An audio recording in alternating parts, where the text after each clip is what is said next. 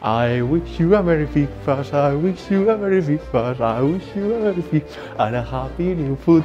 Bienvenidos al Team of the Week. Hoy tenemos a un jugador muy, muy, muy utilizado. No os voy a dar mucho la vara con eso. ¿Qué tal chicos? ¿Cómo estáis? Hoy tenemos y os doy la bienvenida al corner de EA Sports. Game. Bien, tenemos hoy el Team of the Week número 12. 13.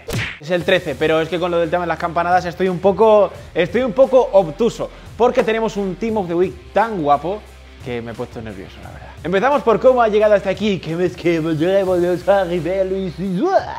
Pues Rafael Barán, amigos, marcó un gol, ganó nueve duelos y mantuvo su portería a cero en el partido contra el Español. Un gol con el exterior del pie que no había marcado en su vida y ahora, pues por fin, por eso y por otras muchas razones, tenemos su carta Inform. Como bien veis, la carta, las stats mejoran en todo. Ahora, ¿qué es lo que tenemos que hacer? Ponerle una velita a Sanfood para que nos toquen los rojos. Vamos ahora con el siguiente que es Die Chetten. El chetado en alemán es Marco Royce. Es verdad que no hemos tenido carta de Player of the Month como tuvimos el año pasado 14 cartas, pues este año tenemos su primera carta Inform.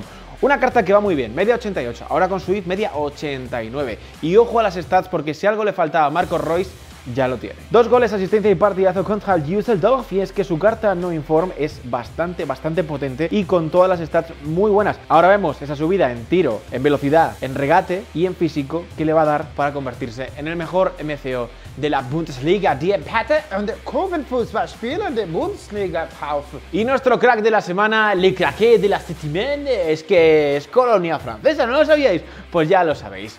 Si no queréis merendar, pues podéis Senegal.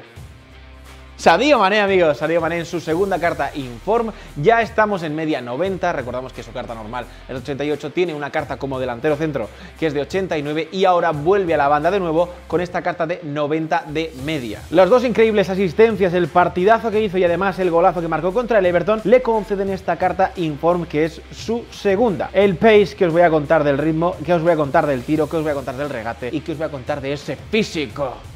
Es una de las mejores cartas que he probado en Foot y desde luego uno de los más utilizados. Vale, amigos, le plus, le le douleur. O sea, cada moneda, que es lo que he dicho, le moneda. El resto de jugadores los habéis visto pasar por mi derecha y además, chicos, recordad que también está Depay por ahí con 5 de skills y una carta brutal. También está por ahí Bardi, que no os hicisteis a lo mejor el SBC del Player of the Month, pues tenéis esta carta ahí también. Y por supuesto Luis Alberto, que es una de las mejores cartas centrocampistas del juego y desde luego de la serie. Vamos con el jugador recomendado de la semana. Nuestro jugador de la semana es, amigos, ni más ni menos que el número uno de su casa, Juan Bisaka. Juan Bisaka, el lateral derecho del Manchester United, hizo un grandísimo partido contra el City, devorando esa banda y haciendo que no pudiese pasar por ahí ni el bigote de una gamba. Las gambas estaban pues, preparándose para Navidad y no podían pasar por allí.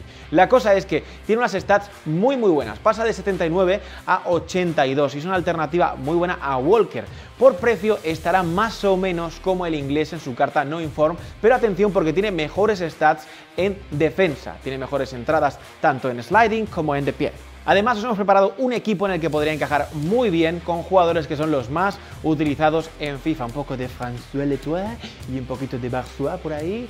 Y si os habéis hecho a Piqué, os va a encajar en esta formación muy, muy bien. Y si no lo tenéis, podéis poner a un Titi, Barán, o sea, podéis tener, tenéis bastantes alternativas, así que probadlo y nos contáis. Hasta aquí el vídeo chicos, espero que os haya gustado. Recordad dejarnos en los comentarios si echáis en falta a alguien y no perdáis de vista el canal porque el domingo tenemos un vídeo con uno de los mejores jugadores españoles de FIFA que nos enseña sus tácticas, sus formaciones y cómo hacer 30-0 o por lo menos cómo intentarlo o quedarse más cerca aunque sea con esos consejitos que nos da el bueno de Daniel Aguilar. Así que atentos al corner, soy Tony y me podéis seguir en Twitter, en Instagram, me podéis seguir por la calle.